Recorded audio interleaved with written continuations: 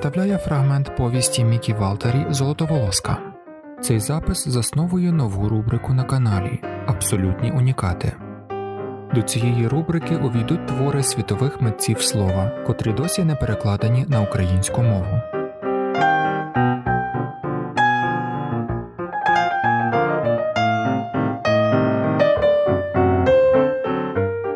Міка Валтарі Золотоволоска. Причиною всього, напевно, було те, що я народилася у гріху. Звучить це смішно, тому мушу пояснити я була третьою за чергою дитиною, і коли я прийшла на світ, батько уже півтора роки був поза домом. Мені було шість місяців, коли він побачив мене вперше. Його сильно не втішив мій вид. Мама боялася, що він мене уб'є, бо не звик гамувати свого гніву, у всякому разі тоді, коли пив, був ще у своїх найкращих літах. Чорне, як чорт, так казали люди. Мав чорне блискуче волосся і такі самі вуса, кляв і лихословив, але ще тоді мені нічого не загрожувало з його боку. Я була замала. Потім якось обидвоє, батько та мати, пройшли над моїм існуванням до порядку денного. Після мене на світ Божий з'явилося ще двоє дітей. Отож разом нас було п'ятеро. Всі вижили, так ми були сильні, і стільки у нас було бажання жити. Хоч тоді тривала війна і панував голод, хоч ми жили в тісняві в одній кімнаті з кухнею у халупі з дерева, що стояла в глибині подвір'я, у Ровголахті, хоч мої брати часом плакали з голоду. Батько ж пив. Коли б не це, у нас би не було проблем, бо добре заробляв краще, ніж середньостатистичний робітник. Звісно, тоді, коли мав роботу. Перша світова війна забрала його на два роки з дому, з країни, спокусили його кращі заробітки, спокусила його перспектива зміни, якийсь неспокій. Може, це все було і в мені, бо від матері у мене немає нічого, все від батька, хоч він і не був моїм батьком. Зовнішньо я відрізнялася від своїх братів. Батько і брати мали чорне волосся, мати теж темне. Тільки я білявка, золотоволоска, як назвали мене пізніше, коли стала тим, ким стала. Під час війни в Естонії та Польщі батько почав пити, і коли вернувся, постійно починав сварки. Так принаймні казала мама, хоч я не знаю, чи була це правда. Може, це повернення додому було для нього ударом. Два роки в чужому краї, повернення без грошей, на які він розраховував, а вдома піврічна дитина чужого чоловіка, тихе немовля з дрібними світлими кучериками, котре лежало в кошику. Цього він не сподівався.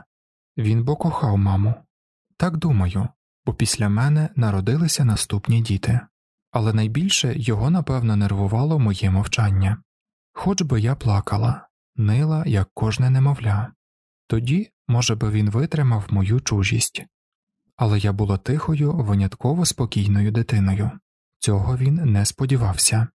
Сам він звик до криків, лихослів'я, звик завжди показувати свій поганий настрій. Моє мовчання пробуджувало в ньому страх. Хіба нема нічого дивнішого, ніж дитина, котра не подає голос, поважно дивлячись на світ. Після свого повернення батько не переставав пити. Чи причиною цього була я, мама, чужий край, не знаю, просто мав таку природу. Не запивався, однак, і життя собі з цього приводу не змарнував кілька бійок, кілька штрафів, навіть не втратив тоді роботу, знався на своєму ремеслі, і коли тільки хотів, міг знаходити спільну мову з людьми, тому дивилися крізь пальці на цю його погану звичку. Тільки на старість він став понурим. Але навіщо я розповідаю про батька? Я ж бо зовсім не пам'ятаю його з тих часів, як він повернувся додому. Я тоді була ще мала, Знаю про це все із оповідань мами. Того, однак, хто був моїм справжнім батьком, мати ніколи не виказала, затаїла це від мене. тому я не маю найменшого уявлення, чи це була якась помилка, чи, може, каприз покликали мене до життя. Ніколи вже цього не дізнаюся. Можу собі тільки щось уявити і помріяти. Раніше я дуже хотіла познайомитися зі своїм батьком тільки для того, щоб йому плюнути в обличчя і видряпати очі, але це була дитяча мрія. Зараз це для мене неважливо. Іноді мені здається, що він ще десь живе, бо я ж іще не стара. Може, живе навіть у цьому самому місті, що і я, і навіть не знає про моє існування. Не думаю, щоб мама зустрічалася із ним після того, до чого дійшло під час відсутності батька. Може, після того вони ніколи більше не бачилися. Так думаю.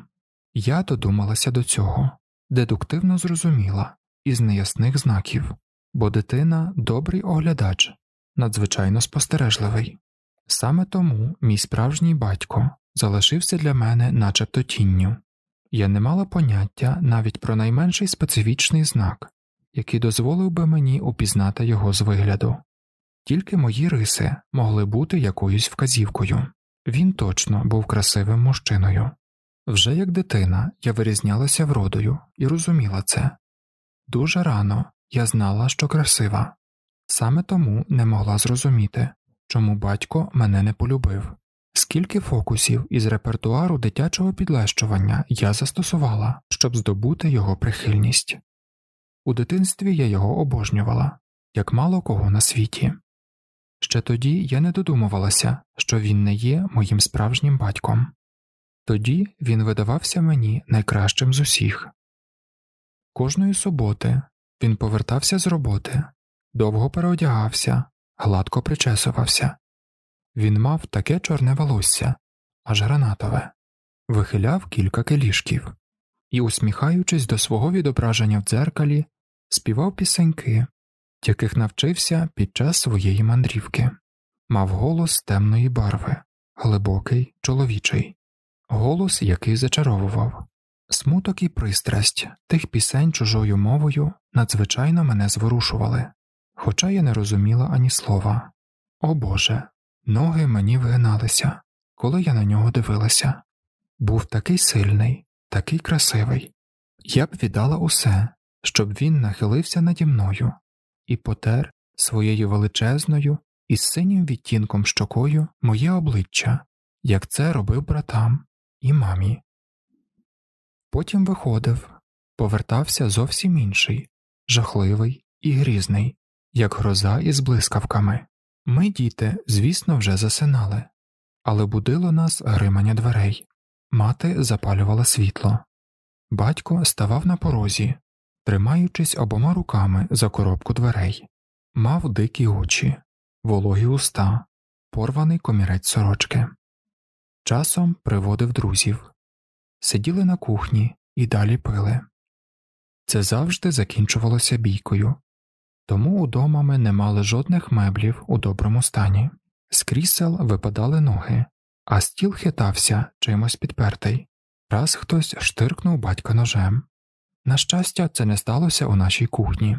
У такі вечори я дуже боялася, але як тільки могла, вставала з ліжка і скрадалася, щоб подивитися через шпарину у дверях, що там діється.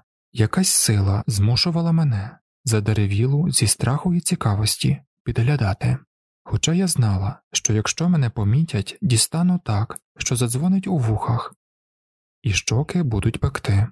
Раніше, коли мама була молодша, сама вставала і йшла пити з мужчинами, не мала іншого виходу, не могла вже або не мала сили тримати батька в ризах, жила під владою постійного неспокою, що щось із ним станеться, тому часом і вона попивала у суботні ночі. На це нарікали сусідки, але у цьому наріканні була також і заздрість такий красивий, впевнений в собі і чарівний був батько.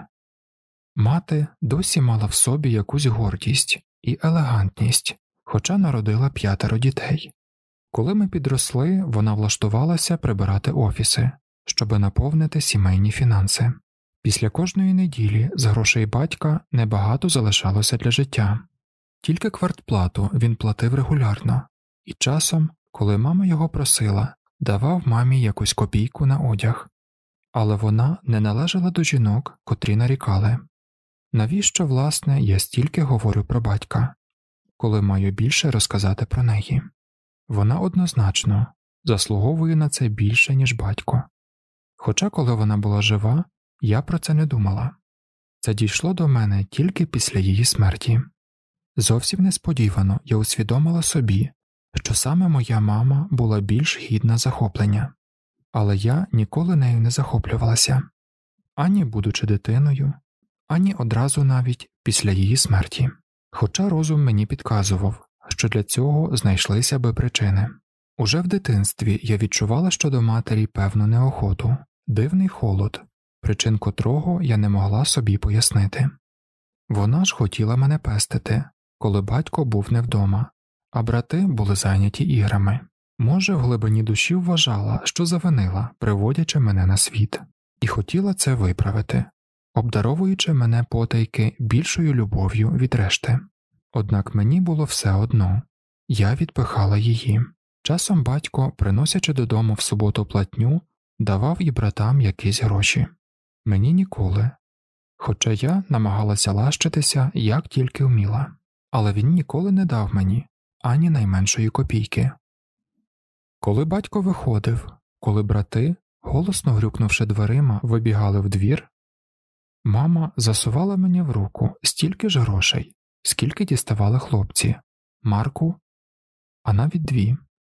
Вона старанно пильнувала, щоб я не почувалася скривдженою, мала завжди стільки само, як і брати, хоча мусила забирати із грошей на життя, не розуміла, що ці таємні маніпуляції тільки підкреслюють моє почуття несправедливості, і що від них я страждаю ще більше, і що я зовсім цих грошей не хотіла, хоча вони означали тістечка, лимонад, цукерки або червону стрічку для волосся. Я хотіла тільки, щоб батько ставився до мене так, як до братів, тільки гроші від нього мали би для мене якусь вартість. Від матері я брала їх ображена і з неохотою. Часом мене тішило зауваження батька, що я не потребую кишенькових грошей, бо я дівчина. Але таке пояснення мене не задовольняло я була впевнена в тому, я відчувала усім своїм єством, що батько мене уникає. Занадто виразно він це мені показував. Кожного разу, даючи братам гроші, зустрічав мій погляд, серйознішав і відвертав від мене голову, чорну і зухвалу. Іноді в недільні вечори вилежувався не до кінця вбраний на тапчані, читаючи газети з наймолодшим братом біля себе. Старші брати присідали біля узголов'я, а батько читав, пояснюючи комікси із газети, скільки я б дала, щоби так, як брат, лежати біля нього, поклавши голову на його м'язистому рам'ї. Я уявляла собі, що торкаюся щокою його шорсткої щетини, марила також, щоби він сильною рукою обійняв мою голову або ущепнув, так як моїх братів, коли пхалися заблизько і заважали йому. Коли він так лежав, міцний, підхмелений, усміхнений, а коло ліжка на підлозі стояла відкрита пляшка пільснера, а в повітрі від його дихання витав сморід алкоголю. Я просто неймовірно його обожнювала. Як тільки мала донька може кохати свого батька, я ховалася скулена у ногах ліжка, захована за газетою, але коли часом легенько торкалася його ноги, він одразу ж зривався і брутально мене відпихав. Якого чорта? Чого ти, сука, хочеш? Виносся до чортової матері. Не пригадую собі, щоби він звертався до мене без прокльонів. Отож я собі росла повністю на узбіччі, хоч і у власному домі, і кожного дня батько давав мені якийсь привід, щоб я зрозуміла, що тут чужа. Брати теж від мене відсувалися і не хотіли зі мною гратися. Мати із задоволенням компенсувала би мені цей брак любові, але мене ці її добрі бажання не цікавили вони не мали для мене жодної вартості, бачачи, що моя неохота завдає їй прикрощів, а моя ненависть болю, помститися їй за те, що батько мене уникає. Зізнаюся, це було по-дурному, по-дитячому і по-дурному. Так як батько ставився до мене, я намагалася ставитися до матері. Кожного разу серце мені стискалося, а сльози, які стримувала, пекли очі. Яким безсенсовним може бути життя? Вже не пам'ятаю, скільки років тривала ця колотнеча. Однієї суботи, коли батько пішов, а з подвір'я долинали крики братів, які мучили кота, мама знову дала мені гроші, але я вдарила руку її так сильно, що монети покотилися по підлозі. Я вибігла із плачем на двір. Якийсь час я хлипала у хліві, а потім волочилася вулицями. Додому повернулася пізно, коли брати вже з'їли вечерю і вляглися спати. Відтоді розваг і друзів я шукала на вулиці. Я ненавиділа дім, але це була тільки безсильна злість відкинутої дитини, котра найбільше болю завдавала саме мені. Отож я насправді почала шукати радості на вулиці і вчилася усього, що та могла мені запропонувати матів, крадіжок, грубощів.